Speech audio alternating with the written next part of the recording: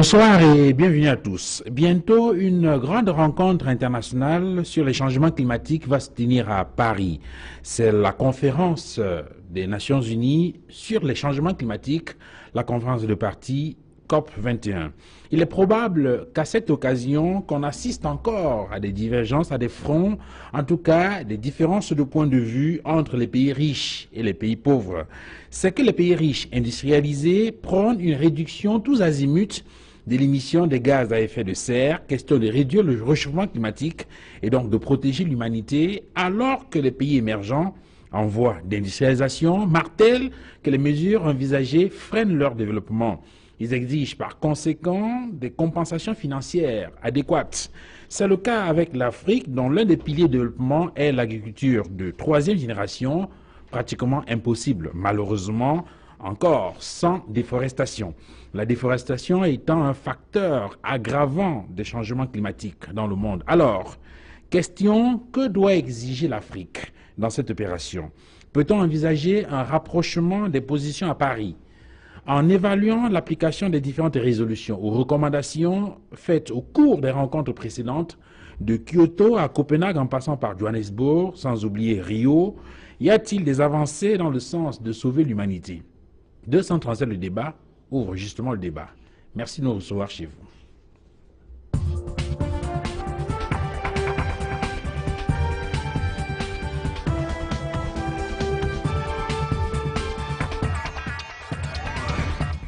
Alors pour euh, ce débat ce soir, nous avons convié sur ce plateau essentiellement des enseignants et des environnementalistes.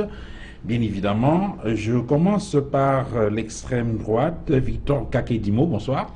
Bonsoir Duval, le plaisir est pour moi renouvelé de me retrouver une fois de plus sur votre plateau. Vous êtes donc euh, enseignant, mais également en politique et vous vous intéressez beaucoup aux questions d'environnement. Merci d'avoir accepté de venir échanger avec nous.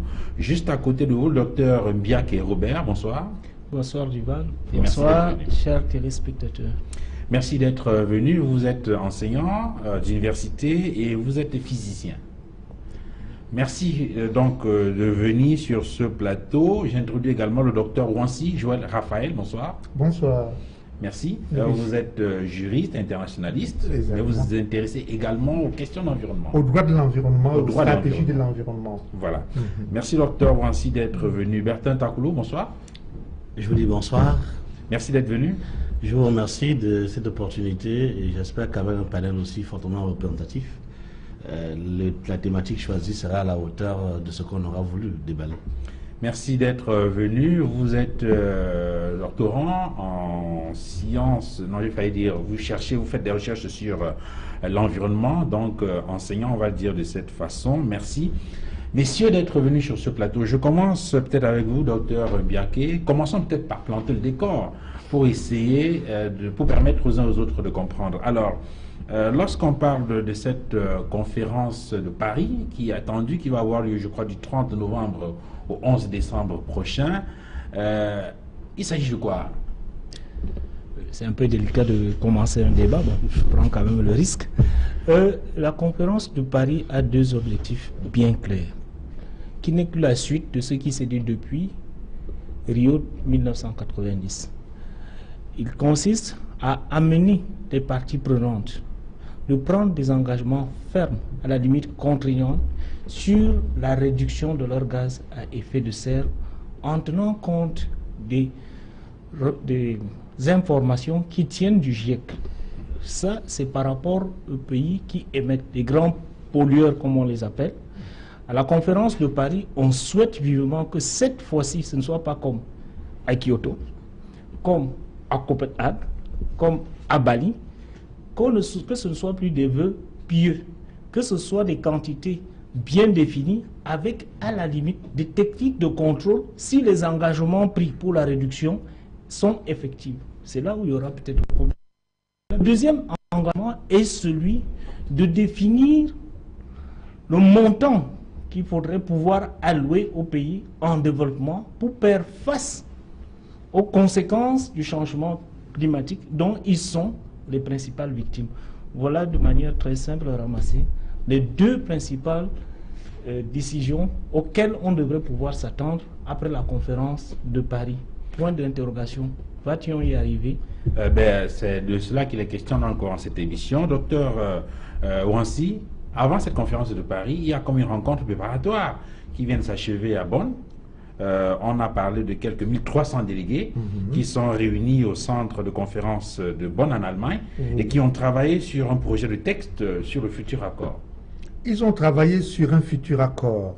On va partir de soft law parce que le droit international de l'environnement, jusqu'ici dans certains secteurs, était considéré comme un droit souple pour arriver à un droit beaucoup plus contraignant, pour arriver à des mécanismes de contrôle, pour arriver à des, à, des définitions de domaine. Parce que tous les concepts, notamment le concept de l'aide à apporter aux pays en voie de développement, n'étaient pas, pas encore saisis dans, dans, dans, leur contour. Donc on arrive ici à quelque chose de beaucoup plus formel, de beaucoup plus concret. Donc quand vous parlez des parties prenantes, des 1300 délégués à Bonn, avant ça, il y a eu déjà la rencontre avec d'autres partenaires, d'autres parties prenantes qui sont les industriels à Paris, n'est-ce pas, avec le président Hollande. Donc, euh, c'est tout ça qui va. Euh, il a fallu donc consulter toutes les parties pour pouvoir arriver à quelque chose de beaucoup plus contraignant, de beaucoup plus exigeant. Est-ce qu'il faut dire, Bertrand Takulo, qu'on est en train de progresser fondamentalement vers une rencontre qui pourrait porter des fruits? Je voudrais préciser, je passe votre contrôle, qu'à l'ouverture de la conférence de Bonn, on présentait un document d'une vingtaine de pages. Mais on est parti là avec euh, un document de pratiquement 50-55 pages, je crois. Duval, il faut dire, et ça, ça risque de nous tromper, que pour toute conférence de cette envergure, et dans l'optique de permettre aux différentes parties prenantes euh, de vibrer au même diapason, il est toujours convenu que ces parties prenantes se retrouvent peu avant la conférence pour essayer d'accorder des violons, de telle manière que les résultats que l'on pourrait euh, prendre par la suite puissent aller dans le même sens. Je voudrais donc dire que la conférence de Bonn s'inscrit dans, dans ce sillage, dans ce sillage de, de mise en commun des savoirs des différentes parties prenantes pour permettre qu'on ne soit plus dans un raté comme ce fut le cas à Copenhague. Et pour revenir à votre question, je vais simplement dire qu'aujourd'hui, et les autres intervenants, à savoir euh, Dr Wansi et mon collègue d'en face, ils ont été clairs quand ils ont dit que aujourd'hui, nous ne sommes plus euh, dans des vœux pieux. Il faut passer à l'aspect contrainte. Et l'aspect contrainte voudrait que l'on évalue, que l'on ait des, mesures, euh, des mesures contraignantes, que l'on soit capable d'arriver à échelon. Je prends un exemple. Il est probable que l'objectif visé à Paris serait d'atteindre 2% au niveau de l'élévation de la température à l'horizon 2020. Non, rester en deçà de 2 degrés de température. Ah, bien sûr, en deçà de 2 degrés de température. Mais est-ce que nous avons les moyens nous permettant d'y arriver? Peut-être à la suite des bancs, on pourra comprendre. Mais je voudrais compléter ce qu'a dit un intervenant concernant les objectifs de Paris, c'est être en mesure de retrouver les fonds devant permettre aux pays à sous-développer de trouver des solutions aux problèmes environnementaux. Et là, on a parlé de près de 100 milliards de dollars qui seront dégagés dès 2020 pour permettre à ces pays-là de, lutter contre tous les risques liés à l'environnement. En dehors de cela, il est, clair que euh, l'objectif, parmi les objectifs majeurs, il faudrait aussi intégrer la diminution de l'aide aux énergies fossiles, de manière à promouvoir les énergies renouvelables. D'accord, on va en parler tout à l'heure parce que justement, c'est ça l'un des enjeux de la conférence de Paris. Euh, on parle de cette mobilisation des fonds, ce n'est pas la première fois. On avait déjà évoqué la question à Copenhague, je crois, et puis euh, aujourd'hui, on est à moins de 10 milliards de dollars sur la question. Pourtant, on devrait atteindre d'ici 2020 euh, autour, on devrait être autour de 100 milliards, 100 milliards de, dollars ou, d'euros. On va revenir sur la question dans le courant de l'émission. Victor Kakedimo, euh, on parle d'un objectif, euh, euh, l'objectif étant de maintenir le réchauffement climatique en deçà de 2 degrés. donc pour cela, il faut réduire les émissions des gaz à effet de serre. En quoi est-ce que ça devient, je veux dire, quelle est l'importance? Pourquoi faut-il forcément arriver à cette, à cette réduction des gaz à effet de serre? Non, disons qu'il faut arriver à cette réduction, ou tout au moins à une stabilisation à 2%, parce que euh, des études les plus poussées, des spécialistes les plus avisés dans le domaine ont réussi à démontrer que au-delà de 2%, les conséquences sont irrattrapables. Hmm. Donc, il y a un travail euh, qu'il faille faire à ce niveau pour pouvoir parvenir à, ce résultat. fondamentalement, peut-être que euh, je n'anticipe pas sur votre conducteur en, disant est-ce que euh, ceci est, réalisable? Hmm. Et c'est là où je, devrais, je, m'interroge. Parce que euh, au-delà de, tout ce qui est produit sur le, plan, le scientifique, de tout ce que les analystes spécialistes du domaine, ont pu produire comme recherche sur le terrain, il faut quand même euh, dépasser un peu euh, ce cadre-là pour affronter la réalité. La réalité, c'est qu'on est dans un système et euh, de mon point de vue, ce qui est questionnable, c'est ce système. Et pour mettre les pieds dans le plat, comme on dit, il est question ici de questionner le mode de production du système capitaliste. C'est ça qu'il est fondamentalement question. Un système où on a moins de 5% de personnes qui concentrent dans leurs mains plus de 90% de la richesse de, la planète, qui sont dans un où il y a une certaine propriété des moyens de production. Pour quelle fin? Pour la, production des profits individualisés. Un système qui est vorace et qui puise au fond des, des, ressources euh, fossiles. Donc il y a ce souci qui est euh, permanent à ce niveau. Et, et c'est ce, ce mode de production qu'il faut questionner. Parce qu'en réalité, lorsqu'on va voir au fond, c'est un système qui est exclusivement concentré dans la recherche des profits et qui ne s'accommode pas de l'éthique. Or, on est dans un monde où il faut l'homme doit se considérer comme étant partie prenante d'un tout et son action doit s'inscrire dans la préservation et faire attention aux mécanismes qui régulent ce tout.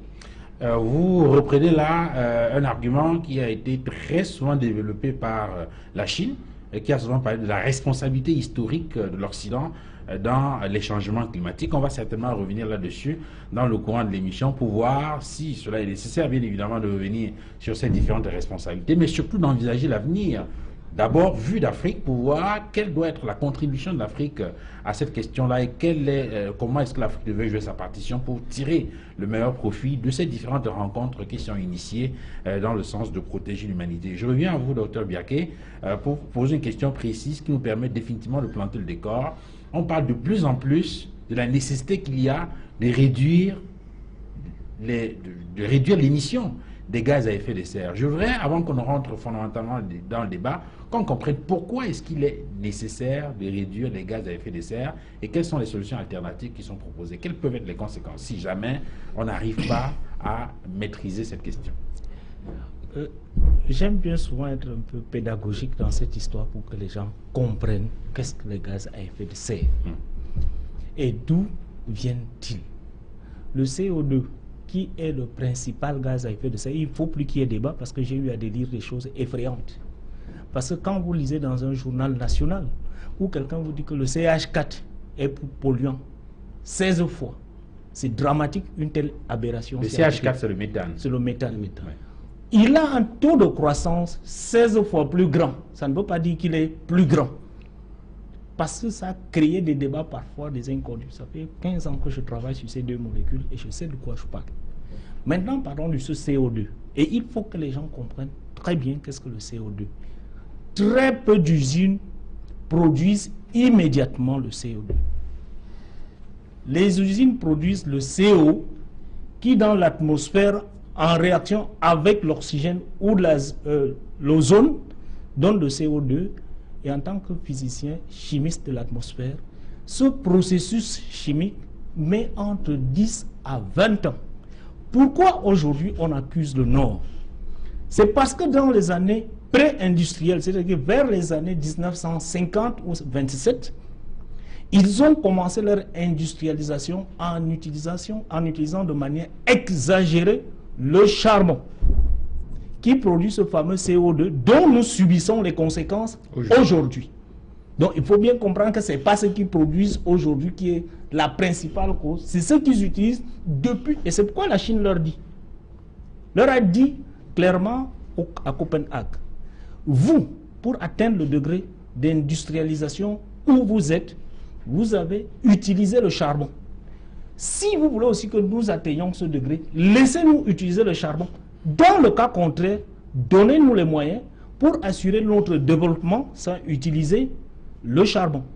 C'est la pression que les Chinois ont mise sur les Européens pour qu'il fasse un peu machine arrière. Donc, en matière de CO2, aujourd'hui, tous les calculs faits par les différents modèles estiment, il y a deux mots fondamentaux, réduction et limitation. On demande aux pays industrialisés de réduire leur production parce qu'ils font une surproduction en CO2. J'ai vu là, actuellement, il parlait, il y a 1200 industries françaises qui ont été contactées pour mettre en place une stratégie de réduction. Sorti de Copenhague, on avait distribué à chaque pays le taux de réduction qu'il devrait atteindre. C'était à peu près pour les pays européens de 6%. Ils devaient réduire leur taux de 6% pour 2005 à horizon 2012. Malheureusement, quelques rares pays ont pu l'atteindre. Ça n'a pas pu réussir parce que trois grands pays, les États-Unis, l'Australie, le Canada, n'ont pas d'abord signé cette convention et n'ont pas réduit, ont augmenté, ce qui a totalement affaibli l'effet escompté. Donc, je me résume en disant, pour les pays industrialisés qu'on appelle pollueurs, j'aime pas beaucoup ce mot, on leur demande, sinon on leur exige de réduire. Quant aux pays en développement, pour ne pas dire pauvres, on leur demande de limiter. C'est-à-dire, chacun apporte sa contribution pour diminuer, atténuer les effets de gaz à effet de serre. Pourquoi? J'aime rappeler que c'est la petite île de euh, Maldives qui avait dit à Bali que ce n'est pas à 1,5, parce que quand on venait à les gens disaient c'est vers 1,5. Bali a dit non, c'est 2, parce que si vous laissez, nous on va disparaître. Alors, euh, euh, on va peut-être donner la parole aux autres avant de venir à vous. Docteur euh, Wansi, dans tous les cas, que ce soit réduction pour le pays riche ou atténuation, ou ne sais pas quoi, pour les pays, ou limitation pour les pays pauvres, l'objectif, il me semble, reste le même, c'est qu'il faut qu'il y ait de moins en moins des gaz à effet de serre dans l'atmosphère et que on ne risque pas, n'est-ce pas, de mettre en péril la vie de l'humanité sur Terre, je crois. Si les objectifs restent les mêmes, les intérêts ne sont pas les mêmes. Même pour les pays africains, les intérêts ne sont pas les mêmes. L'Afrique du Sud et le Nigeria n'ont pas les mêmes intérêts que le Cameroun. Il faut déjà distinguer cela. Donc, il y a dans les relations internationales un distinguo à faire entre les pays émergents et les pays industrialisés. industrialisés. Même à l'intérieur des pays émergents, il y a des, des pays émergents beaucoup plus puissants et notamment le cas de l'Afrique du Sud. Donc, euh, euh, pour, pour, pour, arriver là, cette, cette, différenciation, la responsabilité est commune, mais elle est différenciée. C'est pour justifier les divergences de point de vue sur le mode opératoire. Exactement. et, c'est pour cela. Donc, la pression est aussi faite sur qui? Sur les pays qui ont un massif forestier, notamment les pays de la, zone équatoriale. De, la zone équatoriale. Donc cette pression est forte puisque on leur, on, leur dit limitez votre déforestation. Sinon, limitez l'exploitation forestière. Et c'est justement là tout le clou en ce, qui concerne justement l'Afrique. On va développer ça tout à l'heure. Parce que euh, les Africains, de plus en plus, parlent de la nécessité qu'il y a pour eux de développer, par exemple, l'agriculture de troisième génération. Et on sait qu'on ne peut pas parler d'agriculture de troisième génération sans entre griffes déforestation. Donc, alors, comment ça va s'organiser pour essayer de, pour, que cette affaire soit euh, gérée pour le meilleur, je veux dire, euh, pour, pour le mieux? On va en parler dans le courant de l'émission. Ma question reste euh, intacte. C'est vrai que docteur Biaké s'apprêtait à, apporter un élément de réponse, mais bon, on va revenir tout à l'heure. Bertrand Takoulou, ce que je voulais dans la question, c'était de voir quels sont les conséquences, pour que ceux qui nous regardent, pour que ceux qui nous écoutent, puissent percevoir la nécessité qu'il y a de réduire les gaz à effet de serre. Si ces gaz à effet de serre, si on ne les réduit pas, et qu'on n'arrive pas à stabiliser euh, cette température, je veux dire ce réchauffement, en deçà de 2 degrés, quels sont les risques qu'on court? Avant d'en venir aux risques, je voudrais, euh, dans ma démarche, commencer par euh, un élément qu'il faut différencier. On parle plus souvent d'effet de serre, mais on oublie qu'en fait, ce qui nous intéresse ici, c'est l'effet de serre anthropique. C'est l'anthropisation de cet effet de serre qui aujourd'hui pose problème. Et si les températures augmentent de manière euh, considérable sur la Terre, les conséquences peuvent être, euh, par exemple, le docteur Biaké l'a dit, la disparition des îles, comme les îles Maldives, étant donné leur situation géographique. La conséquence peut être ici une montée en chaîne des inondations et autres phénomènes naturels dont on aurait notamment dans les régions côtières, en Afrique comme Douala et oui, Parlant des conséquences, on peut aussi avoir euh, l'augmentation du plancher océanique qui conséquemment aura une répercussion suivant que l'on soit dans euh, les zones du pôle nord ou du pôle sud. Euh, il faut dire que de plus en plus, même certains experts disent qu'on va enregistrer une acidification des eaux des océans. Et tout compte fait, si cette acidification se fait de plus en plus importante, euh, il y a de forts risques que euh, les micro-organismes marins, que ce soit les phytos, les zooplanctons, soient influencés. Et nous savons tous ici que cela constitue la base même de l'alimentation, de la chaîne alimentaire ou la chaîne trophique au niveau des espèces euh, marines. Donc, il y a. Donc, de façon simple, on veut dire il y a des risques d'inondation. Il y a des risques d'inondation. Il, y a un problème avec la sécurité. De manière générale, des, catastrophes naturelles. Là-dedans, vous mettez inondation et autres euh, phénomènes. de la sécurité alimentaire, etc. Et ça peut donc provoquer un dérèglement des, rythmes euh, saisonniers au niveau des récoltes, par exemple. Et vous savez euh, que des pays africains qui vivent essentiellement de l'agriculture, au cas où on aurait un dérèglement ou bien une transformation permanente, les conséquences peuvent être fâcheuses pour l'économie de ces pays-là. Alors, vous voulez compléter votre Oui, euh, euh, je vous dis, il, faut, il y a un problème de méthodologie dans la compréhension des conséquences. Le changement climatique, il est global. On sait le pourquoi, c'est les gaz à effet de serre. On sait comment. Mais maintenant, les conséquences varient d'un pays à un autre, d'un continent à un autre. Hmm. Pour nous, téléspectateurs, pour qu'ils touchent du doigt, les conséquences au Cameroun, il faut pouvoir les identifier. Rester dans l'aspect générique que les gens pensent que c'est tout. Moi, j'invite les Camerounais qu'ils aillent à Limbi, qu'ils aillent ici au port, qu'ils aillent à Kribi, qu'ils aillent voir Eco Roosevelt? Parce que vous savez qu'on a. À, Manoka. Oui, qu'ils aillent voir Eco Roosevelt, Roosevelt qui est là-bas à la lobée, qui lui cause, ils vont, il va lui dire, les ils vont leur dire, il va leur dire les larmes aux yeux, comment il y a eu une avancée effroyable de la côte. Ça, c'est une évidence camerounaise. Bon, parce que quand on parle, il y a, il y a, on ne voit pas ce qui nous menace. Première chose, les conséquences camerounaises. La deuxième chose, les conséquences camerounaises. Tout le monde sait qu'à l'école primaire, au collège, on a appris qu'il y avait quatre saisons.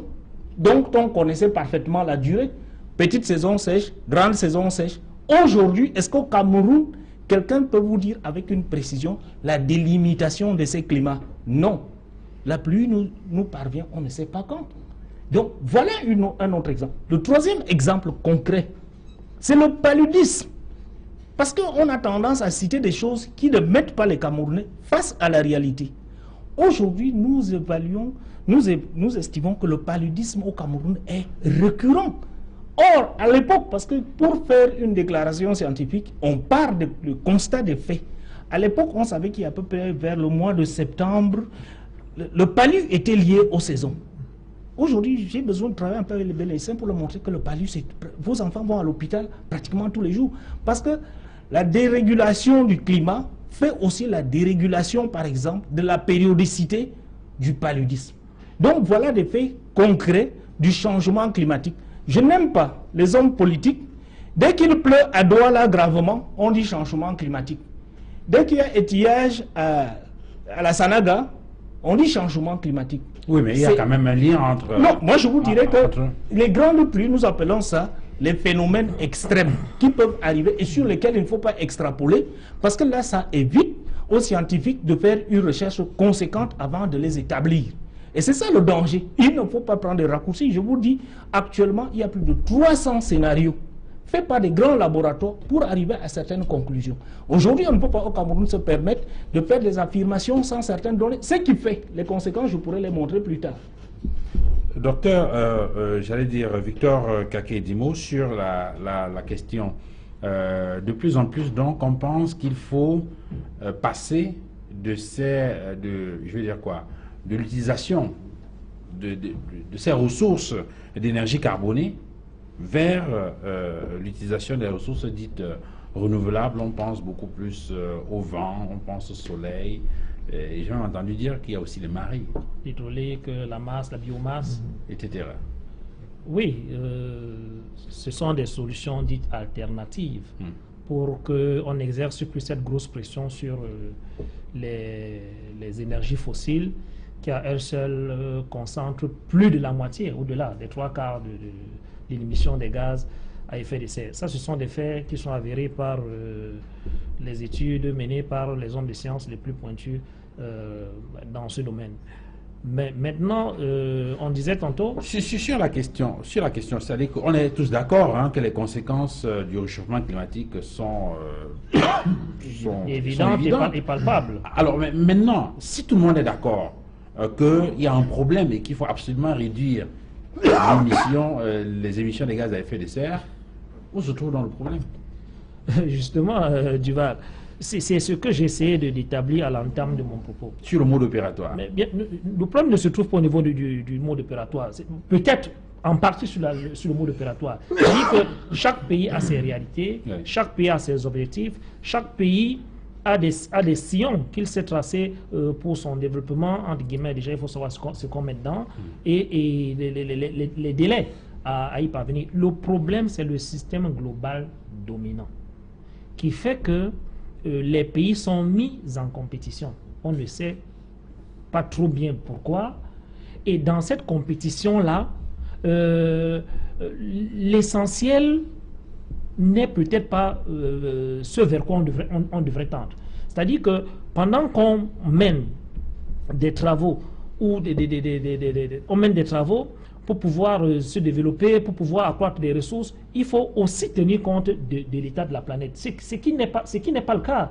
Ce qui n'est pas le cas. Donc on est dans, une, dans un système où on est exclusivement concentré sur la, la, production, hmm. même lorsqu'elle n'est pas utilitaire. C'est ça le fond de la question, pour prendre deux illustrations rapides. En Italie, les populations sont paupérisées, elles n'ont pas de ressources pour acquérir des denrées de première nécessité, en l'occurrence le lait, les tenants de la grosse industrie, qu'est-ce qu'ils font? Le lait qu'ils pourraient donner à ceux qui sont les nécessités, ils ne le donnent pas. Il y a une action de rachat de ce lait pour le vider en main. Pourquoi? Parce qu'il faut soutenir les mécanismes du prix. Parce qu'ici, la, la, denrée, le caractère précieux d'une denrée est déterminé par sa rareté. Plus la denrée est rare, plus on va soutenir les prix sur le marché. Or, ce système-là fait que dans les, états d'élevage, on continue à traire, on continue à chercher euh, du, nécessaire au niveau des pâturages pour nourrir ces vaches-là. Vous voyez un peu un exemple concret qui fasse que on est dans un système qui ne tient pas compte de la pression qui est exercée sur l'environnement parce que les enjeux et les intérêts sont ailleurs.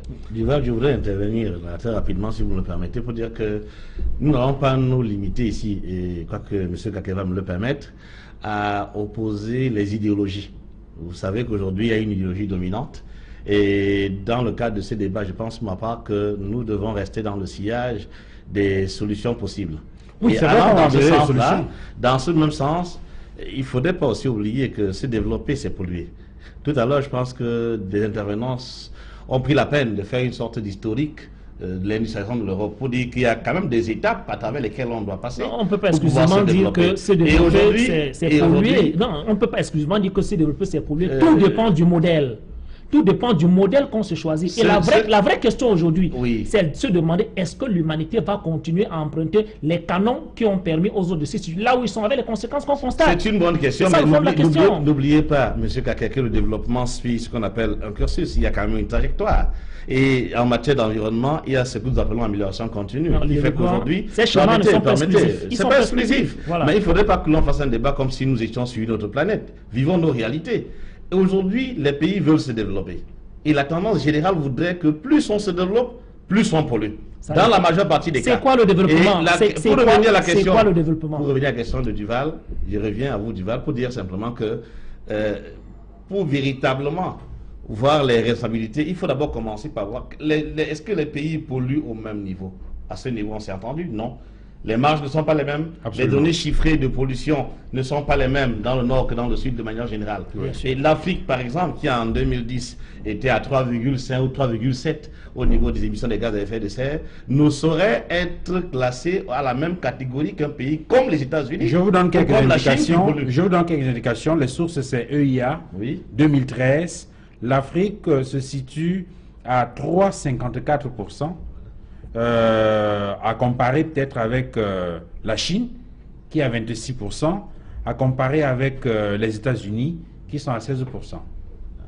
Ce sont, les, je crois, les, les- les- chiffres qui ont été collectés. Euh, la, la source est. La, la question que je vais poser pour qu'on évolue, pour qu'on avance dans le débat, parce que je voudrais qu'à terme, qu'on essaie de voir si cette conférence de Paris qui va s'ouvrir va permettre effectivement qu'il y ait un rapprochement des positions et surtout si l'Afrique peut tirer le meilleur parti de la question. Et donc, pour essayer de recentrer un tout petit peu, je reviens à vous, docteur Wansi, qu'est-ce qui peut justifier, en restant sur la, la- la démarche qui est la nôtre jusqu'ici, Oui. qu'est-ce qui peut justifier que malgré toutes, c'est-à-dire qu'on est tous d'accord qu'il faut réduire l'émission des gaz à effet de serre, il y a eu des rencontres, on a parlé tout à l'heure de Kyoto, on a dit Copenhague, il y a eu Rio, Rio, puis ainsi de suite. Qu'est-ce qui peut justifier que malgré toutes ces, qu'au fil de toutes ces rencontres internationales, qu'on n'arrive pas à se mettre d'accord sur une- un mode opératoire qui devrait permettre fondamentalement qu'on arrive à stabiliser tout au moins ce- cette augmentation sur le réchauffement climatique Oui, M. Kake a dit quelque chose de très important. Un problème au niveau des Oui, intérêts des États. oui. Oui. Les intérêts des États, le profit, le capitalisme mondial est en train de miner l'avenir de la planète. Hmm. Il faut tenir compte de ça. Tout le monde est concerné. C'est pourquoi lorsqu'on a invité à Paris les, entrepreneurs, on a invité les banquiers, on a invité les assureurs pour dire qu'il y a une limite maintenant. Il faut poser un acte volontariste. Cet acte volontariste doit se traduire par le droit international. Le même problème s'est posé en matière de, à, à, en matière de délimitation de la mer. Il y a eu des exigences. Ces exigences juridiques, avec la Convention de Montego de 1982, ont conduit à des, contraintes réelles en matière de droit. C'est la même chose qui va se passer en matière de protection de l'atmosphère. Il faut arriver là. Si nous n'arrivons pas là, qu'est-ce qui va se passer? La Terre va exploser, elle va finir. La Terre vit. Et elle, en vivant, elle peut mourir. Oui, d'a- d'accord, on va y arriver, mais pour qu'on y arrive, il faut qu'il y ait un modus operandi. Et justement, c'est faut- ce qui s'en va se faire. Le droit, le droit international, Ouais. le droit international s'en va être beaucoup plus contraignant.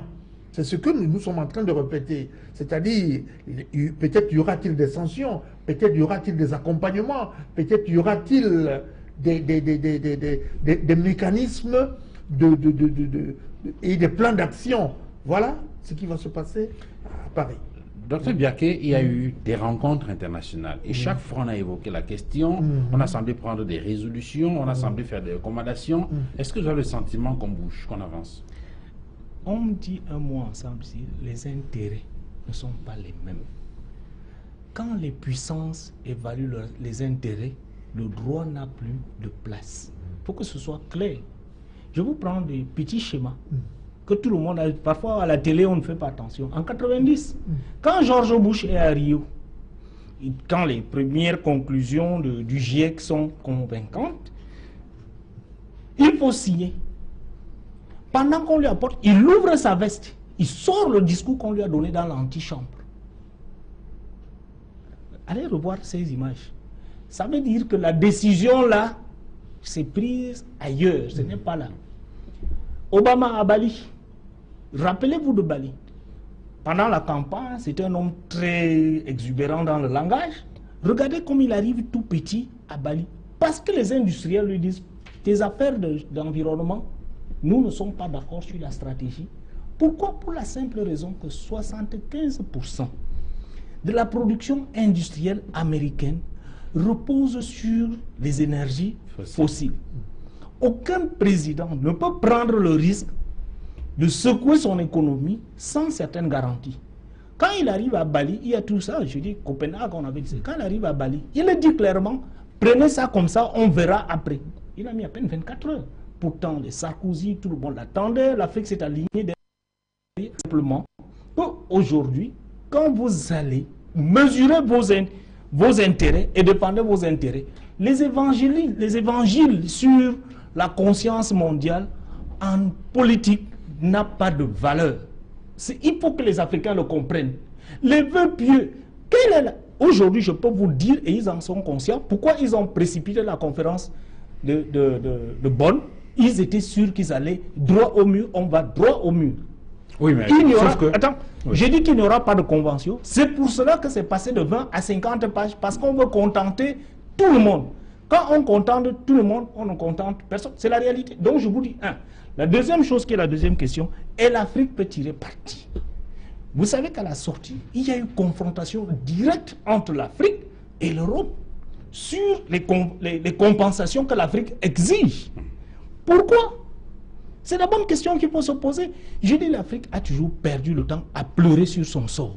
Avant, avant d'arriver sur l'Afrique, docteur Biaké, je voudrais faire une observation euh, sur, euh, parce que vous semblez indiquer qu'on tourne pratiquement en rond.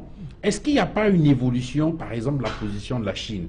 Je voudrais faire remarquer, il faut, il faut rappeler que le président chinois, le 25 septembre dernier, dans une rencontre avec le président américain, avait annoncé qu'il va apporter une contribution dans le fonds vert à hauteur de pratiquement, euh, je crois, 3 euh, bah. milliards euh, d'euros.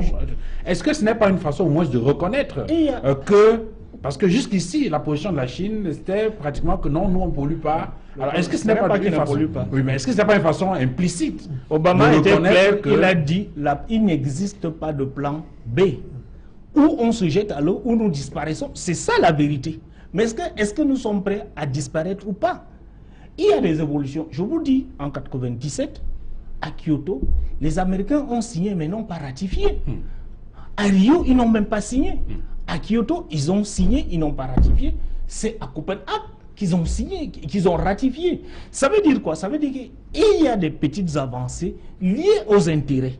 Il n'y a pas immobilisme, mais malheureusement, les résultats des scientifiques sont alarmants. On vous dit, si vous n'atteignez pas une réduction de temps, voici ce qui nous attend. Je ne sais pas si on se comprend. Parfaitement. Donc maintenant, il y a urgence à prendre des décisions, mais malheureusement, on ne prendra pas de décisions. C'est ça la, la vérité, ça ne sert à rien. Je dis, il y a urgence à prendre la décision. Les scientifiques vous disent, ce n'est pas eux. Tous les scénarios montrent.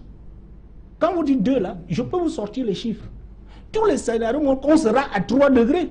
Au taux de croissance, on faisait les à 530 ppm partis par million. Mais aujourd'hui, on se rend compte, à l'heure où nous parlons, nous sommes à 500. On était en 2005 à, 2, à 358. Ça veut dire quoi? Le taux de croissance est tel que c'est alarmant pour les scientifiques. Et d'ailleurs, ils sont pour les politiciens. à plus de 4 degrés d'ici 2050. Alors, docteur Wansi, sur, sur la question, moi, ce que je voudrais, je voudrais qu'on comprenne, hein, euh, c'est vrai qu'on a parlé tout à l'heure euh, mm. de la nécessité qu'il y a pour les États de se développer, ce qui mm. guide un tout petit peu leur politique mm. au cours de toutes ces différentes rencontres-là. Mais euh, les Africains, de votre point de vue, devraient aller à cette conférence de Paris avec quoi? Quelle proposition? Quelle devrait être leur position? Est-ce qu'ils devraient rester sur la position de la Chine qui est en train d'évoluer ou bien ils devraient avoir une position qui soit différente de celle des autres puisque les intérêts visiblement sont divergents? Il devrait avoir une position, dans les relations internationales, pour le cas de l'Afrique, il devrait avoir une solution purement africaine. Cette, cette position africaine... Vous la sentez arriver? Oui, on la sent arriver sur le fait que les Européens commencent à comprendre la relation qu'il y a entre l'écologie et l'éthique. Le problème commence à se poser puisque nous avons tout dit aujourd'hui, mais nous n'avons pas pensé à quelque chose qui se, une évolution qui se passe en Europe, c'est que les sociétés civiles européennes occidentales commencent à comprendre l'interdépendance qu'il y a entre la protection de l'environnement en Europe et la protection de l'environnement en Afrique. Donc, il y a une évolution dans l'esprit des peuples européens. La preuve, vous avez vu ce qui s'est passé avec la question, la tricherie de, je crois, Volkswagen. Comment les, peuples ont commencé à réagir. Mm. Comment, à la bourse, l'action Volkswagen a baissé. Mm. Donc, euh, il y a quelque chose qui va se passer. Moi, je ne veux pas être pessimiste. Je veux dire que le communisme s'est planté. n'est-ce pas? On le sait il y a quelques années. Le capitalisme peut aussi se planter, c'est revenir. Les hommes vont revenir à l'état de nature. Il faut avoir gardé cet espoir. oui, oui, quand je dis l'état de nature ici, je veux dire que pour ne pas, c'est une image que je donne, n'est-ce pas? Mais ah, parce qu'il faut m'expliquer, hein, parce que parce qu'au sens premier, on voit les, hommes, les hommes reviendront de plus en plus reviendront de plus en plus à la phase initiale. Oui, à la phase initiale. Hmm. Parce que le capitalisme est en train de se planter, puisqu'il n'a pas pu concilier écologie et puis euh, éthique. Vous êtes euh, dans, la, même lignée, je voudrais faire Peut-être, peut-être. Peut-être après Kaké Oui, peut-être après Kaké. Euh, il est là, visiblement, le docteur Wansi, dans le matérialisme historique. Hein. Non, non, pour, pour, pour parler de l'Afrique, puisque je crois que c'est notre continent et je crois que tout ce qui concerne ce continent nous intéresse au premier degré. Je crois que l'Afrique a des atouts à faire valoir. Euh, si j'emprunte deux axes, le premier dépend de lui, l'autre ne dépend pas de lui et se situe dans la contingence. Concrètement, l'Afrique, c'est 15% ou 17%, 17% des forêts à l'échelle du monde, 25% des forêts tropicales. Et lorsqu'on sait le rôle de régulation que jouent ces forêts, ces forêts africaines, ajouté aux forêts amazoniennes, il y a quelque chose à espérer parce que c'est un argument qu'on mettrait dans la balance pour faire fléchir les autres. La deuxième chose, lorsqu'on voit le frémissement de, euh, l'Occident, faut pas, moi je ne veux pas être naïf pour penser que ce frémissement est dû au fait que les gens ont pris conscience. Non. Ce frémissement est dû au fait que L'Europe est un continent qui a une proximité avec l'Afrique. Oui, mais sauf que tout le monde est condamné à trouver des solutions à cette Oui, oui. L'Europe est un continent qui a une proximité avec l'Afrique. Les conséquences du réchauffement climatique de l'émission de gaz à effet de serre sont déjà perceptibles sur le continent. C'est la déforestation, c'est les sécheresses, c'est les inondations, c'est les inondations, c'est le lac Tchad qui se dessèche. Conséquence, c'est cette horde de jeunes qui ne savent plus ce que coûte une vie, qui sont en Méditerranée sur des radeaux parce qu'ils cherchent des lendemains meilleurs, incertains. C'est ce qui fait peur à l'Europe. Parce qu'elle s'est rendue compte que ces désastres sur ce continent africain sont quelque part la répercussion de l'action qu'ils ont eu à exercer sur la nature. Conséquence, ils ont l'obligation de trouver des moyens de remédiation. Est-ce que vous sentez cela dans les discours, dans les actes, dans les décisions qui sont envisagées ou bien qui sont prises? Cette volonté entre griffes de l'Europe à répondre à cette préoccupation. Il y a eu des rencontres où on a semblé dire que les positions africaines s'arrimaient à celles de l'Europe dans le sens où l'Europe était prête à apporter des moyens en termes de compensation financière hmm. pour à accompagner les tissus industriels africains à se mettre à niveau et pour que nous ne refassions pas, nous ne nous sombions pas dans les travers qu'ils ont empruntés. Donc, cette, cette, volonté-là est perceptible à un certain niveau, seulement qu'elle a un effet retort. Elle a un effet retort pour certains Je pose la question parce que vous avez, par exemple, on a décidé à Copenhague, par exemple, la création du fonds vert. Et depuis Copenhague, c'est 2009, aujourd'hui on en est à 2015 on n'a pas atteint euh, les, 10 milliards. cela n'a pas été atteint parce qu'on a, a, lancé l'idée de mobiliser des fonds. Hmm. Euh, l'élan de mobilisation n'est pas celui qu'on escompte. Hmm. Parce qu'il y a des présenteurs à gauche et à droite. Euh, il ne faut pas oublier que lorsqu'un des pays vivent leur propre crise interne hmm. et qu'il faille solutionner les problèmes des citoyens sur leur territoire, mettre des, fonds dans le fonds vert, c'est une question secondaire et périphérique. Parce qu'il faut, il faut résoudre d'abord les problèmes de, l'électorat direct qui assure euh, le succès pour les élections futures et, pour la suite. Alors, euh, vous allez, euh, on va se séparer dans une minute. Vous voulez réagir oui, Je vais réagir très rapidement pour dire que la contribution de l'Afrique, il faut voir cela sur deux pans. Dans un premier temps, il avait été demandé à toutes les parties prenantes de présenter des projets concernant leur pays. Et vous avez, par exemple, en Afrique, des pays qui ont réagi. En Afrique centrale, euh, les pays ont réagi à travers un projet qui sera présenté par euh, le président Mbongo, en tant que président d'exercice de, de, la, de, la, structure sous-régionale. Il est question, par exemple, dans ce propos-là, de revenir sur les risques liés au lac Tchad, dont la superficie fait que s'amenuiser. Donc voilà un aspect qui peut permettre à l'Afrique, je ne sais pas, peut-être que les décisions par après nous, le, nous permettront de voir si ce projet est convenable. Il y a Djibouti qui a présenté un projet également. Il y a le Bénin qui a présenté un projet. Il y a l'Éthiopie également qui a présenté un projet. Mais il y a la République démocratique du Congo aussi qui a présenté un projet par rapport au massif forestier du Congo. Mais il faut dire qu'à travers, quand on regarde très bien tous ces projets, on se rend compte que le côté financier qui permettrait de, de les financer est, est, intimement lié à la bonne volonté des pays du Nord. On ne peut donc pas vouloir peut-être protéger l'atmosphère en espérant que l'Europe va fournir 80 à 90% des fonds qui permettront d'y arriver. Et ça limite un peu cette vision globale que l'Afrique devrait avoir. Et je vais chuter en disant qu'en environnement, euh, généralement, nous ne parlons pas de proximité, nous parlons du pensée global dans l'action locale, comme pour dire que à travers l'effet papillon, un événement qui survient en Chine a des conséquences à des milliers de kilomètres. Donc, au-delà de la proximité des frontières, il faut voir les phénomènes environnementaux beaucoup plus dans le sens planétaire. Alors, peut-être pour euh, conclure, euh, euh, Victor Kaké, avant de céder votre place à, à Dimkwa, sur la question, on parle de plus en plus de ces projets. Est-ce que c'est une porte de sortie pour les Africains. Je veux dire, si fondamentalement il y avait cette volonté des Européens à financer, à mettre de l'argent, par exemple, dans, dans ce, euh, dans ce fonds vert, est-ce que ce serait une porte de sortie pour euh, les Africains? Non, non, je pense que euh, en arrière-plan, ce qui se trame, c'est l'adéquation entre le soutien que l'Afrique doit apporter en termes de contribution pour lutter contre ce réchauffement climatique et réciproquement le souci de vouloir se développer.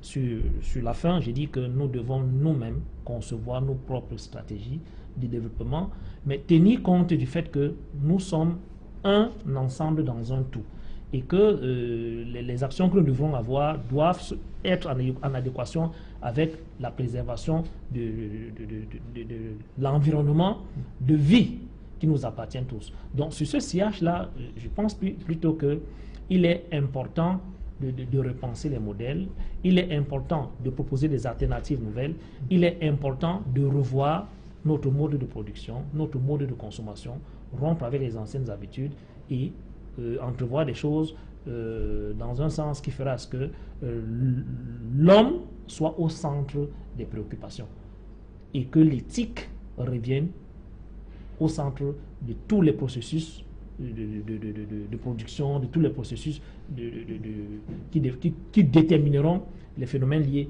à la croissance, à la consommation. En attendant le déclin du capitalisme tel qu'envisagé par le Dr Wansi. Oh, peut-être pas le déclin du capitalisme. Les autres ont parlé euh, d'un capitalisme euh, repensé. Bon, j'ose croire qu'il peut, qu'il peut, se repenser, mais euh, fondamentalement, je pense que si on continue sur cette même lancée, on, on va tout droit vers le mur. Merci Victor Kakedimou d'être venu sur le plateau de 237 le débat. Le plaisir a été le mien. Alors, euh, euh, docteur Biaké, sur la question, toujours euh, dans le sens d'envisager des mesures pour permettre aux Africains de tirer l'épingle du jeu, on a à un moment donné parlé de la bourse carbone. Vraiment, euh, je veux parler de la bourse carbone, mais je reviens sur ça. Que les Africains arrêtent de se cacher le visage avec cinq doigts.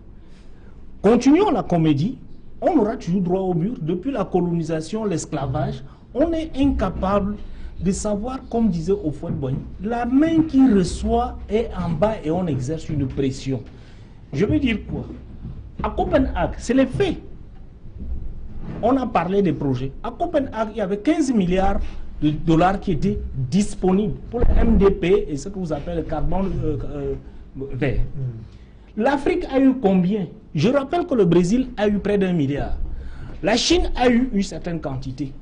L'Afrique n'a pas. Pourquoi? Parce que les projets ne sont pas conséquents. Je viens maintenant au projet. Le collègue a dit, le, cap, euh, le, Bongo va présent, le président Bongo va présenter un projet. Mm -hmm. La question, ce n'est pas politique. Il faut bien comprendre que c'est des réalités scientifiques. Pour quelqu'un qui a géré un projet, connaît la démarche de validation d'un projet. Les projets africains ne sont jamais validés parce qu'ils ne respectent pas les canaux internationaux. Et après, on vient dit que non, on ne veut pas nous donner de l'argent. Ce n'est pas vrai. Je vous explique pour avoir un peu vécu dans ce circuit. On lance un appel à candidature pour les projets. Tous les grands rédacteurs écrivent, arrivent entre les mains des politiciens. Le politicien ne peut pas prendre une décision. Il envoie aux experts. Votre dossier est regardé. L'Afrique dit qu'ils produisent 4,3. Est-ce qu'ils ont la preuve? Non. Quel est le protocole de dépenses? Non. Quelle est la technique qui ne respecte aucun On plie le projet? On jette la poubelle. On le met de côté. Si vous avez voulu 2 milliards, pour des contentements politiques de, 3, de 2 milliards, on va vous donner 50 millions. Écoutez-moi bien. Vous êtes en train de remettre en question au moins deux, choses. La, démarche africaine, elle est mauvaise parce que les scientifiques ne vous donnent pas les données nécessaires pour établir l'état des faits du changement climatique dans un pays donné. Qu'est-ce qu'il faut remettre en question ici? Est-ce que c'est la gouvernance ou bien l'incapacité des Africains je vais terminer. Si, à, définir cela? Je vous dis la Chine a réussi parce que je vous ai pris un exemple. Je vous ai pris l'exemple des îles Maldives. Les îles Maldives arrivent avec des résultats scientifiques. Votre affaire de 1, nous ne sommes pas d'accord. Quand les gens regardent, ils se disent qu'ils ont quand même raison. Mais l'Afrique vient dire que non, nous sommes victimes. Les gens écoutent, ils sont d'accord. Vous donnez aux scientifiques qui sont du GIEC. Je prends ici le dernier rapport du GIEC. Est-ce que Il n'y a qu'un seul Africain sur près de 180. Je dis aux GIEC là qui ont, fait, qui ont participé. Il y a un Africain, il y a 13, 15 Germains, euh, euh, Allemands, 13 Américains. Ça veut dire que les grandes décisions qui sont prises là-bas tiendront compte des intérêts de chaque pays. Quand l'Afrique n'a On peut donc conclure à l'échec de la bourse carbone. Non, Notamment maintenant, vu, revenons à la Maintenant, vu, vu d'Afrique, c'est ça Je voulais d'abord situer pourquoi nous avons peu de chance. On peut aller en choc frontal. On va dire, oui, on vous donne 2 milliards. Expliquez-nous ce que vous allez faire de 2 milliards. Vous envoyez un document, il peut être de 100 pages. On regarde le contenu de ce scientifique. S'il n'y a, rien, revenons au carbone. Qu'est-ce qui s'est passé à Copenhague, pas à Copenhague, à Kyoto? Parce que quand on tombe d'accord, on dit, on va trouver des mécanismes de compensation. C'est à partir de là qu'on fait une répartition de pollution par pays, ce qu'on appelle des quotas. On dit que tel pays peut polluer jusqu'à tel, tel niveau. On a réparti. On a dit que les pays africains, comme il leur est pratiquement impossible d'atteindre les quotas qui leur sont qui le revendent. Que maintenant, celui qui pollue plus que ce qui lui est prévu, achète aux pays qui n'en produisent pas. De telle manière que, par exemple, si le Cameroun, pour être simple, pour nos téléspectateurs, le Cameroun devait, on dit le Cameroun pollue jusqu'à 100. La France, 1500. La France était à 3000. La France dit que comment? Pour faire ça, je vais aller acheter les 100 du carbone, du Cameroun. Donc je peux polluer jusqu'à 1600, jusqu'à compenser. Mais maintenant, le piège où les Africains commencent à pleurer, il faut prouver, il faut prouver que les 100 là qu'on paye là, c'est vrai. C'est que c'est ce que tu devais produire. Où? Je vais les transformer, je vais transformer ces 100 là en limitation de production au lieu d'utiliser les énergies fossiles dans le développement du Cameroun en cours, je veux utiliser les énergies renouvelables. Mais quand vous n'avez pas des dossiers conséquents, quelles que soient les complaintes que vous voulez, je vous dis que l'homme économique est froid. La morale n'existe pas en politique. Euh, euh, Didier quoi Bonsoir. Bonsoir. Merci de nous avoir rejoints sur le plateau. Merci. Un ou deux mots sur ce que vous avez entendu jusqu'ici concernant le débat? Bon, déjà, euh, bonsoir aux auditeurs, aux téléspectateurs. Je voudrais que ceux qui ne croient pas aux conséquences du changement climatique aillent vers Cap Cameroun. Il y a une photo illustrative. Vous allez voir un pylône et quelques troncs d'arbres. Lorsque vous discutez avec les populations du Cap Cameroun, elles vous disent qu'il y a 10 ans, ce poteau était ici. Ça veut donc dire quoi? Ça veut donc, s'il y a un pylône qui est au centre de la mer, c'est qu'il y a une modification des paramètres climatiques. Donc recule la côte. Cela va sans dire. Et je voudrais que le changement climatique, c'est la modification des paramètres climatiques sur un long moment. Et on dit qu'il faut, pour qu'on parle de changement climatique, le docteur l'a bien dit, il faut que cette modification dure au moins 30 ans. Lorsque c'est moins de 30 ans, on parle de variation climatique. Le docteur est d'accord avec moi. Et la lutte contre le changement climatique, ou bien le combat contre le dérèglement climatique, se réduit en deux mots simples, mais qui fait tout un programme. Atténuation, adaptation. Et lorsqu'on parle d'adaptation, lorsqu'on parle d'adaptation, c'est comme si vous allez à un couvert espagnol où vous mangez ce que vous avez apporté. C'est une excellente image. Sur la bourse carbone, peut-être un, mot sur. Euh, est-ce que, est que cela devrait être un levier pour les Africains? En principe, en principe, si l'on s'en tient au principe pollueur-payeur, les Africains devraient en principe bénéficier d'un tel mécanisme. Euh, le docteur l'a si bien dit tout à l'heure. Le véritable problème euh, à travers ce mécanisme, c'est que nos pays africains ont du mal à faire leur bilan carbone. Si un pays a du mal à faire son bilan carbone, ça veut dire que même au niveau de la production industrielle, les industries n'arrivent pas à faire leur bilan carbone. Vous avez au Cameroun aujourd'hui euh, près de 11 000 entreprises. Près de 11 000 entreprises.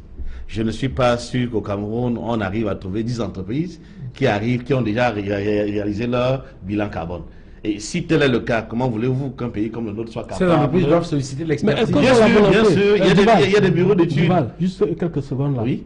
Je voulais rappeler que euh, dans les mécanismes de flexibilité de MDP, mécanisme de euh, développement propre, il y a une entreprise au Cameroun, je ne veux pas lui faire sa publicité, qui a reçu des fonds dans le projet de méthanisation. Parce que les gens pensent qu'au Cameroun, il n'y a pas de source. C'est pour ça que je préfère qu'on revienne, qu'on ne reste pas aérien, qu'on revienne au Cameroun. Il y a quand même des sources d'émissions de gaz à effet de serre au Cameroun. Je peux compter par exemple la méthanisation ou bien la fermentation des ordures ménagères qui libère le méthane, qui a une puissance 20 fois plus que le dioxyde de carbone. J'espère que vous ne pas sur le débat. Non, non, je ne suis pas là. Ensuite, donc, lorsque vous pouvez transformer le méthane qui est issu de la décomposition des ordures ménagères, vous pouvez, des matières organiques, vous pouvez vendre cela dans le cadre de ce qu'on appelle la mise en œuvre commune à ces pays-là. Le docteur a parlé de l'annexe 1. C'est des pays qui doivent limiter, qui doivent subir ou bien qui doivent respecter un quota d'émissions. Et lorsqu'ils ils ont besoin peut-être d'aller au-delà, ils doivent se retourner contre les pays de l'annexe 2 qui ne sont pas soumis à la réduction de gaz, d'émissions de, gaz à effet de serre pour financer des projets propres. Alors, ce qu'il y a comme réduction, parce qu'il faut dire, la réduction a un coût. Le dernier vallon parle de 13 dollars, une tonne CO2 équivalent. Alors, euh, euh, euh, sur la question, moi j'ai posé la question sur la bourse carbone parce qu'à un moment donné, ça, c'était tous les espoirs, enfin je vais dire la plupart des espoirs africains étaient fondés sur, mm. sur la question. Et puis aujourd'hui, je crois qu'il y a la Chine qui a annoncé que d'ici 2017, elle va mettre en place, comment on appelle ça, un marché national de quotas. C'est-à-dire qu'à l'intérieur du pays, euh, un mécanisme qui devrait fonctionner comme la, bourse, euh, mm. comme la bourse de carbone sur le plan mondial et qui devrait permettre aux entreprises qui polluent plus, par exemple, d'aller acheter à celles qui, euh, qui, polluent, qui polluent moins. Oui, je voudrais rapidement intervenir pour dire... des Chinois, comment ils font face à leurs problèmes. C'est-à-dire qu'interne, ils trouvent des mécanismes pour faire face, sans appeler. Je vous prends, vous citer un cas concret où à l'intérieur de la Chine, on imagine des mécanismes internes. Mais chez nous, on va toujours pleurer, on revient. Non, non, c'est Guillaume aberrant, si vous permettez. Il y a une pesanteur. Oui, allez-y. Il y a une pesanteur, c'est le transfert de technologies. En fait, il y a une volonté. Est-ce qu'il n'y a pas une expertise locale qu'on peut exploiter, docteur Il y a une expertise locale, mais en matière de limitation des gaz à effet de serre, il y a un problème de transfert de technologie entre le nord et le sud. Donc, revenons, je reviens sur l'idée de puissance, n'est-ce pas? C'est celui qui vous dit réduisez vos gaz à effet de serre, limitez vos gaz à effet de serre, qui vous vend la technologie par laquelle vous allez le faire. Donc, il y a un problème qui se pose. Mais docteur juste cet angle-là, à partir du moment où le problème est global, où la, la menace est globale, oui est-ce qu'en réalité, on devrait continuer à surfer sur ces paramètres-là? Est-ce que ces pays riches ne devraient pas se sentir dans l'obligation de faire ce transfert de compétences pour qu'on en arrive à résoudre ces problèmes? Non, il ne faudrait pas qu'on se leurre vraiment. J'ai l'impression qu'à un moment donné, nous laissons l'essentiel pour aller à ce qui est superficiel. Le transfert de technologie, vraiment ne rêvons pas. Les grandes puissances pour se développer ont dû faire l'espionnage. Ça, il faut le dire. Il faut être courageux pour le dire. Moi, je pense, pour ma part, que le problème du bilan carbone est lié au fait que nos propres industries qui polluent à des degrés moindres n'arrivent pas elles-mêmes à réaliser leur suivi environnemental. Un exemple très simple. Au Cameroun, on compte du bout des doigts les entreprises qui sont rentrées dans la réglementation en matière de pression environnementale, que ce soit dans le cas des EIS, des audits ou des études de danger. Très peu. Vous avez pris un cas d'entreprise qui s'est arrimé en faisant son bilan carbone.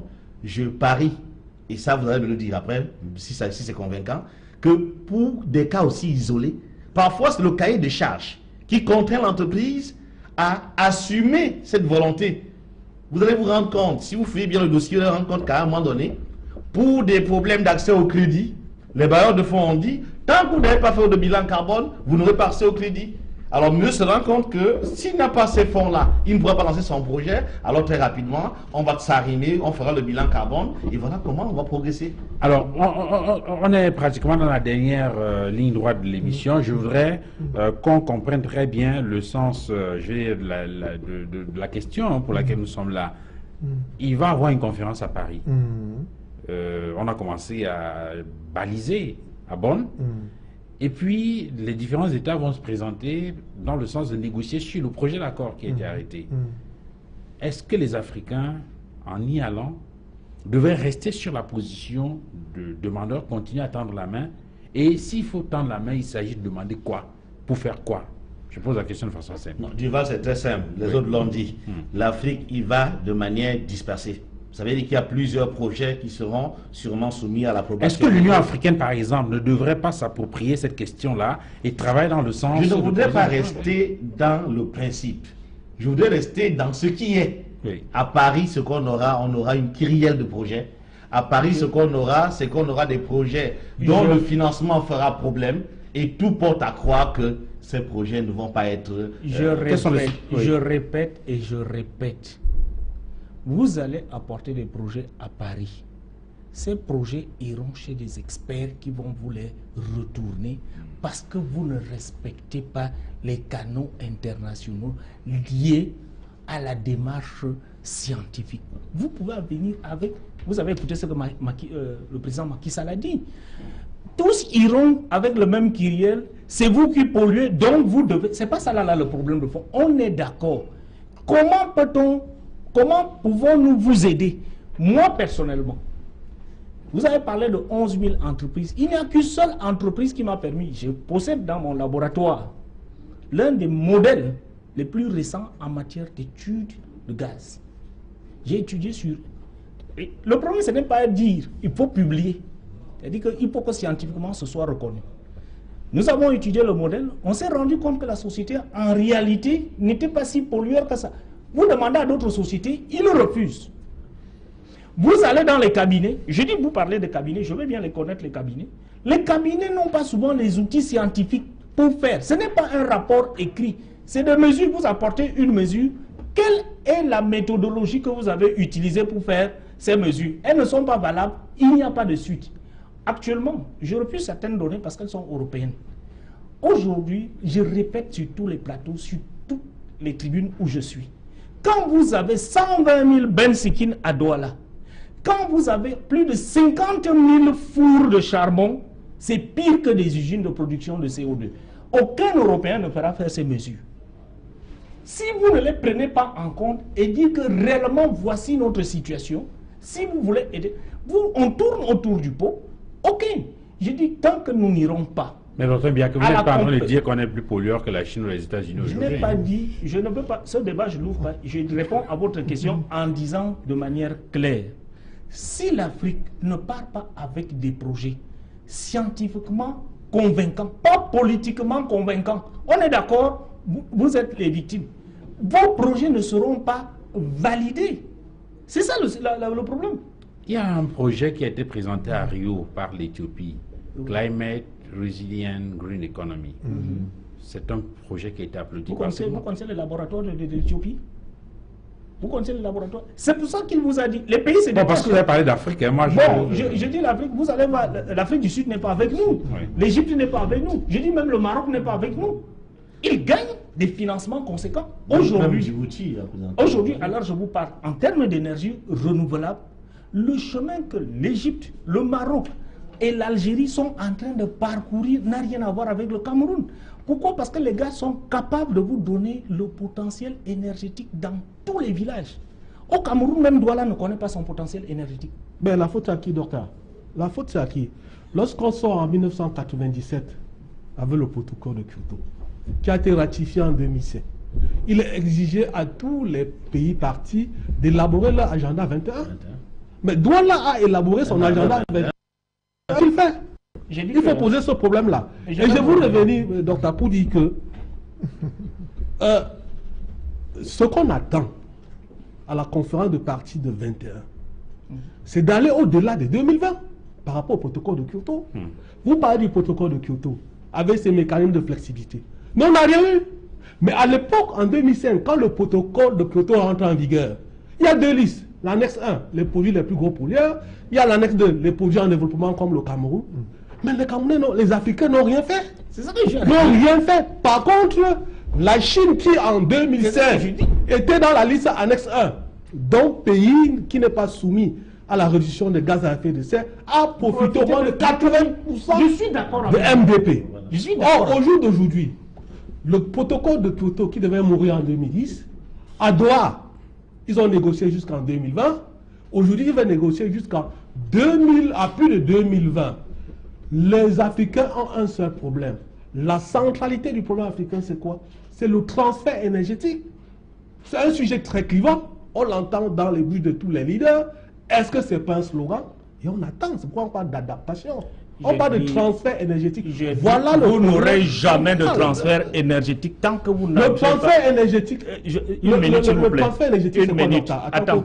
Une minute. de basculer de la consommation des énergies fossiles Vers les énergies renouvelables. Je suis en train de vous expliquer de manière simple que pour arriver aux énergies renouvelables, vous devez avoir des données scientifiques qui expliquent que les énergies renouvelables sont rentables. Je prends, je suis désolé. Donc, vous êtes Ah, attendez, hein. je on attend beaucoup de vous. Et je réponds de mes, je me réponds, beaucoup de je vous. réponds de mes responsabilités. Vous avez Je suis un acteur politique. Oui. Nous avons besoin de vos Bon, matériaux. vous- je vous prends. Si bon, ah, vous êtes- écoutez-moi, écoutez-moi une Si minute. êtes- Écoutez-moi une minute. J'ai fait une conférence au Centre culturel français pour expliquer comment on pouvait utiliser les énergies renouvelables. Comment vous, les politiciens, vous êtes très forts. Vous voyez les plaques solaires qui sont dehors. Voilà. Je tiens à le dire parce que ça fait extrêmement mal. C'est à 30 degrés d'inclinaison. Si vous êtes défaitiste, Attendez un peu. Écoutez-moi bien. Donc, Je vous dis que c'est à 30 degrés d'inclinaison. Scientifiquement, c'est faux. Je vous dis, ça c'est de la science. Je dis à haute, je suis à la télé. Je dis, regardez les plaques qui sont là. Les gens m'ont entendu. Vous descendez un peu plus. Ils ont diminué vers 15 degrés. Ce n'est pas au hasard. C'est un calcul scientifique qui vous dit que Douala se trouve entre 5 et 10 degrés. Quand vous ne venez pas nous voir, quand nous faisons des propos, moi personnellement, j'ai proposé à la communauté urbaine un plan de reboisement total de la ville de Douala.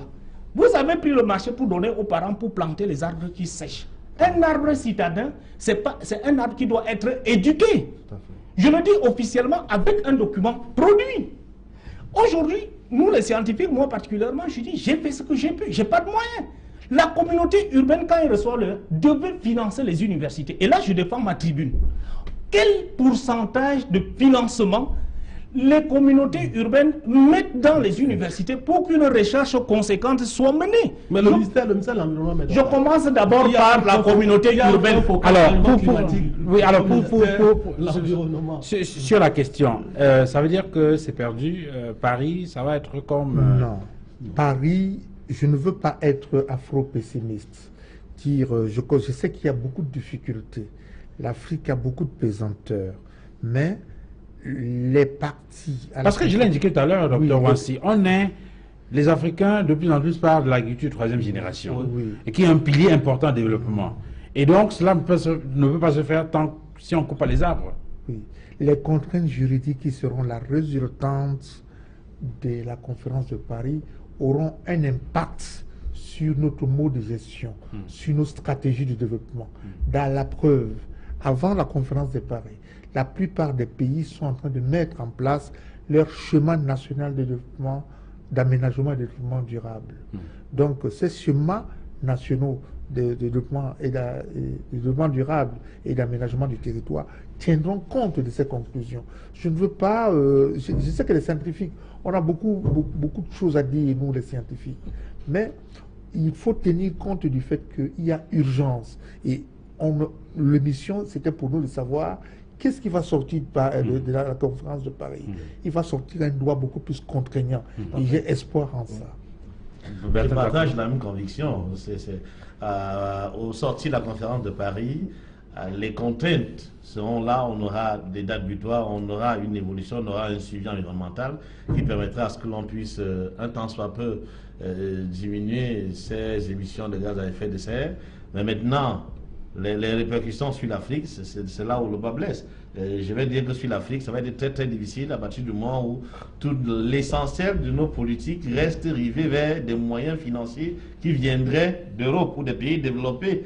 Et même quand on dit que l'Afrique va se basculer et passer de l'é- de l'énergie fossile aux énergies renouvelables, là encore c'est très difficile parce qu'il y a euh, un besoin de formation. Pourquoi vous êtes si optimiste Tout à l'heure, tout à l'heure, tout à l'heure, le docteur disait que les universités africaines ne sont pas financées. On a fait un classement très récent.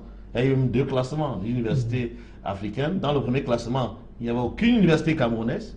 Et dans le deuxième classement, il y avait l'université de Tchang. Pour montrer qu'il y a quand même des petits pôles à travers lesquels il peut y avoir un certain développement. Mais il faudrait que les collectivités décentralisées apportent leur soutien à l'initiative de la recherche. Je, je pose la question, vous paraissez très optimiste. Je dois rappeler que l'année dernière, les États-Unis et la Chine avaient annoncé un accord avec des objectifs de réduction des gaz à effet de serre entre 26 et 28 degrés. Aujourd'hui. Je ne peux pas faire le bilan à mi-parcours. Mais moi, Ça, Mais Duval, je faut voudrais comprendre une dire- chose. Duval. Les Parce que vous parlez de droit contraignant. Quand on dit droit contraignant, ça veut dire que ça va être quoi concrètement? Ben, je vais dire une chose avant. Puisqu'il y a des gens qui signent et qui après ne ratifient pas, par si exemple. le docteur me permet, Oui. pourquoi la conférence à Copenhague a échoué? Parce que les plus gros pollueurs ont refusé que leurs objectifs soient contraignants. Voilà. Et qu'est-ce qui États-Unis Et et qu'est-ce qui Chine. rassure que demain la situation ne sera Donc, pas la même? J'ai dit, quand je suis arrivé en ce, studio, en ce plateau, j'ai dit ceci. La lutte contre le dérèglement climatique est comme un couvert espagnol. Chacun mange ce qu'il a apporté. Nous devons nous battre. Le- au Cameroun, je ne suis pas du ministère de l'Environnement, mais je suis très proche. Nous avons un plan national de mécanisme d'adaptation au changement climatique. Ça existe. Il est récent. Opérationnel Non. Avant- oui, il est récent. Avant cela, Est-ce qu'il est opérationnel Hein, bien sûr, il est là. Avant cela, lorsqu'on parle des conventions de Rio, la convention sur le changement climatique, la convention sur la biodiversité, la convention sur la désertification, toutes ces conventions ont des politiques stratégiques qui existent. Et je dois vous dire qu'en 2000, je crois, euh, à Bali, ou il y a Bali, quelque chose comme ça, le ministre de l'Environnement du Cameroun a présenté ce projet qui était un projet phare. Donc, vous- ce que vous avez de dire. Si je Non, reviens ce que maintenant, vous avez si je de reviens dire. maintenant sur l'adaptation. Il est revenu avec combien? Non. Je connais le mot. Attends Non, je sais Mais pas. il est revenu- Donc, c'est ça le vrai problème de fond. 300 millions, c'est quoi? Non, il- non c'est ça le, le danger. Il est revenu avec combien? Je dis c'était 300 millions. Je voudrais vous dire, c'est vous qui avez dit, monsieur Duval, que le premier rapport c'était 20 pages. On est en train d'aller vers 50 pages.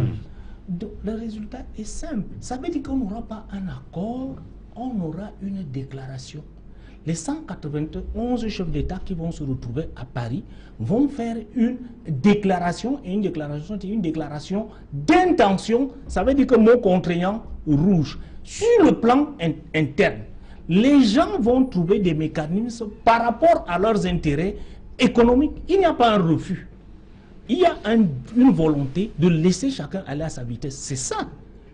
Ça, c'est la première chose. La deuxième chose par rapport à ma présentation introductive, la- on n'aura pas les 100 milliards escomptés. Ça, c'est d'abord la première réalité. Par contre, est-ce que le comportement des Africains pourra leur permettre de bénéficier de ce qui sera dans la cagnotte That's the question. C'est ça le vrai problème. travail, il faut travailler. Et je dis, et je dis que l'expérience nous serve à quelque chose. C'est vous qui avez dit. La Chine en a profité. Le Brésil en a profité. L'Inde en a profité. Pourquoi? Parce que la procédure de rédaction d'un projet respecte des canaux bien clairs. Vous pouvez vous asseoir au ministère, il n'y a pas de problème. Vous pouvez écrire tous les projets que vous voulez, il n'y a pas de problème.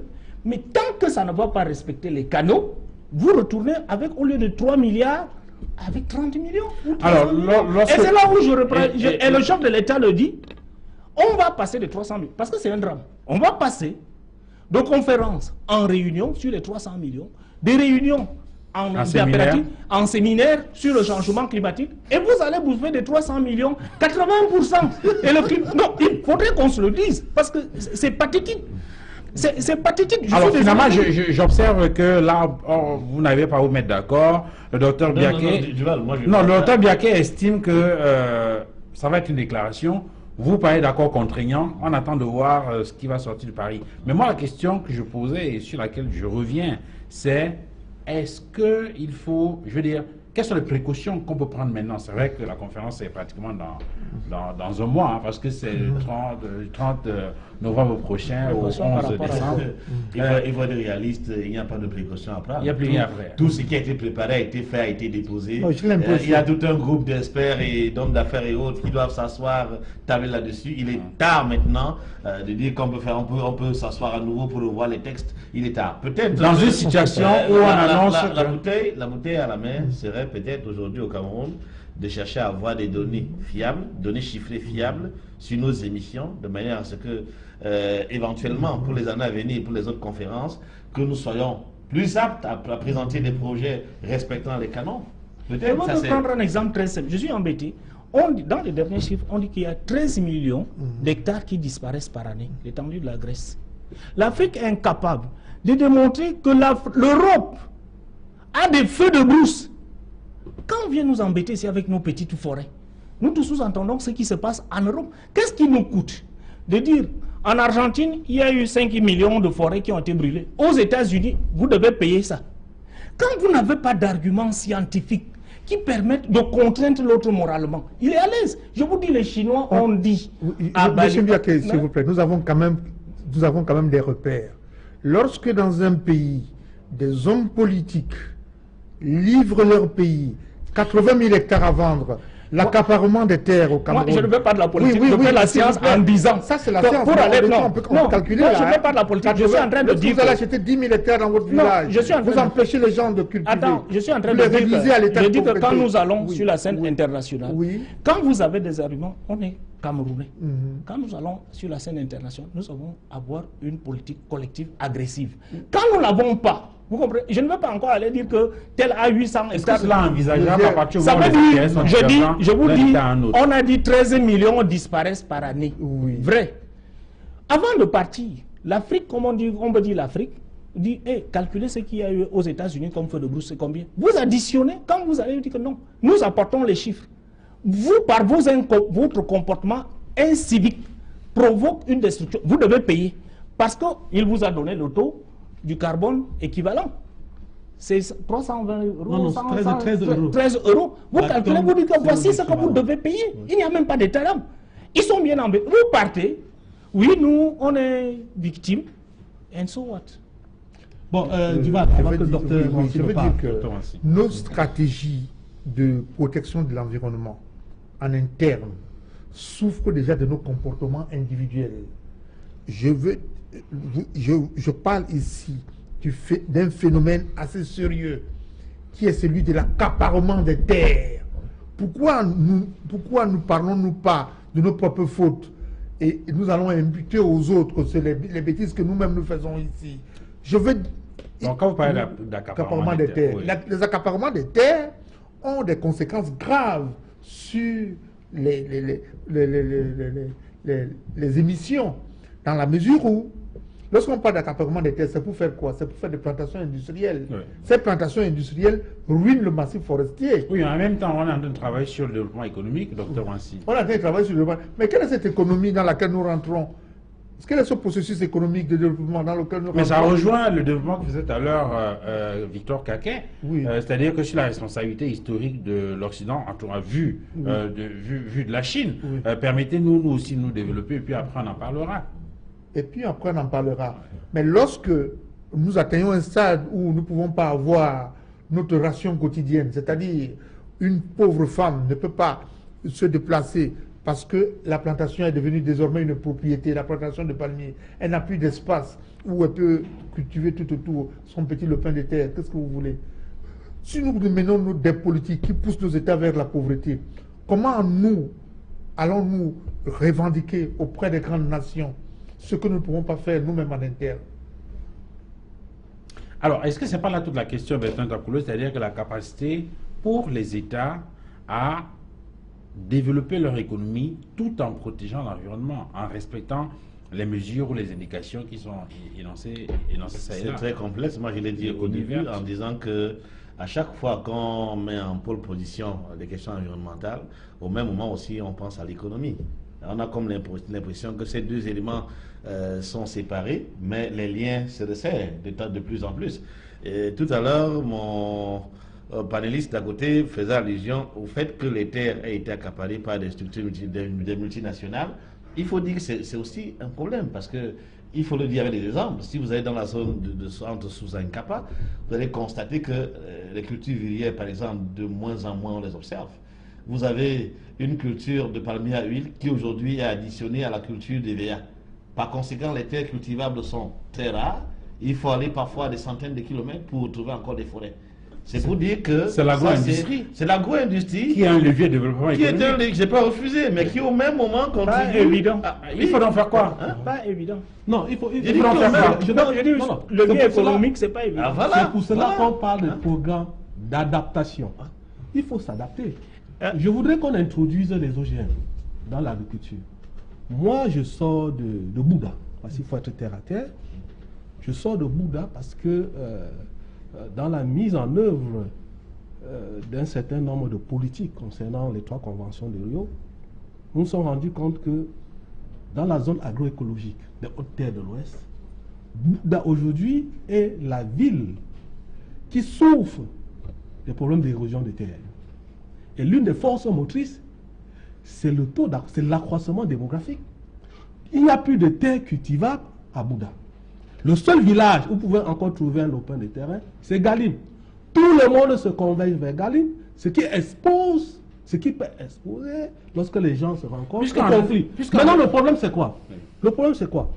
Il y a beaucoup de. Lorsqu'on a parlé des OGM, parce que le problème d'agriculture, l'agriculture dans le monde entier participe, je crois, de, 13, de 14% d'émissions de gaz à effet de serre, plus que le transport.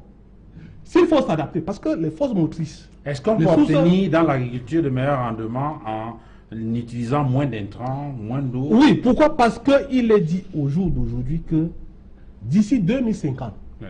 Parce que ça, c'est les schémas, ça, c'est les références, qu'on appelle les références, euh, les, les- les- les sch- les- les- les schémas que l'on choisit aujourd'hui de, 80 de, 2000 de 1990 à 2050, la population mondiale sera de 9 milliards.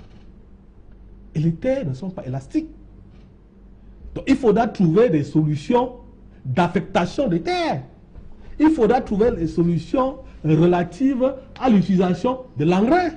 Il faudra trouver des solutions à, par exemple, euh, l'utilisation ou bien la culture des, des produits comme le riz, qui produit, si vous me permettez la tautologie, le gaz à effet de serre.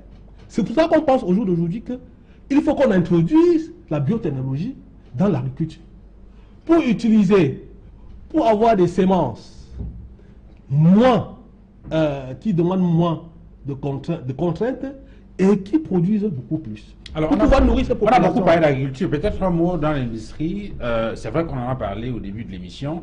C'est le recours aux énergies renouvelables et, et donc euh, aux technologies propres. Je pense même que la question a été partiellement traitée tout à l'heure pour dire que euh, recourir à cette technologie propre revient à ce qu'on ait les moyens, la méthode, la conna- des connaissances. On est donc- on est donc obligé de continuer à demander de Il faut l'argent. dire que euh, les Hein, pays comme le Brésil. Non, moi, je, je- je reste sur un, inflexible sur ma position. Quand vous faites les sciences appliquées, le seul outil qui vous permet de confirmer, c'est les données de terrain. Vous comprenez? Vous pouvez faire toute votre cogitation avec les théories. Tant que vous n'avez pas les données de terrain, vous n'aurez aucun résultat exploitable. Messieurs, on est arrivé pratiquement à la fin de l'émission. L'Afrique, c'est le continent qui pollue le moins.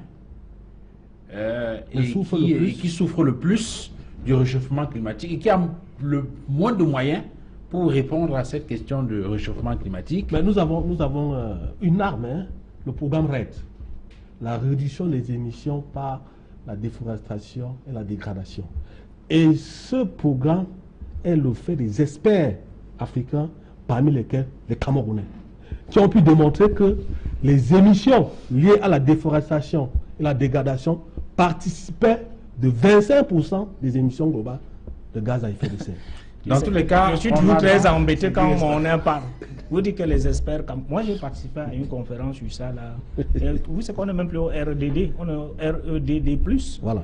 Et on vous a parlé d'une adaptation liée aux intérêts du Nord. Ça veut dire quand vous ne êtes incapable de lire entre les lignes, on vous apporte un modèle scientifique qui est monté au Nord, on vous dit de l'appliquer. Dans tous les cas- je le dis au ministère, vous avez ces modèles, personne ne peut vous expliquer le processus informatique, programmatique qui le fait, mais il sait l'exécuter. Alors, euh, Et bah, c'est on dangereux parce que je vous dis, quand on parle du changement climatique, les modèles qui sont, qui nous sont, je n'aime pas parler des chiffres là parce qu'on vous les, on vous les affecte. Je dis que les chiffres qu'on nous donne là, on nous les affecte et on les accepte. Et c'est ça le danger. Parce que peu de scientifiques africains peuvent vous dire, quand dans un modèle, vous avez la grêle, vous avez la neige, vous avez le durée, la durée de ceci qui porte les modèles. Où est Mais au moins, on ne va pas remettre en question que si Je- on moi, je le- continue... Non, je veux dire que si on, on continue sur ce rythme-là, Mm. euh, d'ici à 2050, on sera à une augmentation de 4 degrés. Mm. Et il semble que 50% de la population africaine, dans ces conditions-là, sera menacée d'insécurité alimentaire, pour ne prendre cet exemple-là. Donc, nous avons le devoir, messieurs, euh, de trouver des solutions à cette affaire-là. Mais comment eh bien, on va certainement avoir l'occasion de revenir sur cette question dans le cadre d'autres éditions 237, le débat. Merci, messieurs, d'être venus. Merci à vous, docteur Wansi, d'être venu. Merci. Euh, merci, Bertrand Takoulou. Merci, Duval. Merci également à vous d'être venu, euh, docteur Biaké. Merci. Merci, euh, Didier de nous avoir rejoints sur le plateau. Merci, Duval. Point final pour cette autre livraison 237, le débat. Excellente soirée à tous et à très bientôt. Au revoir.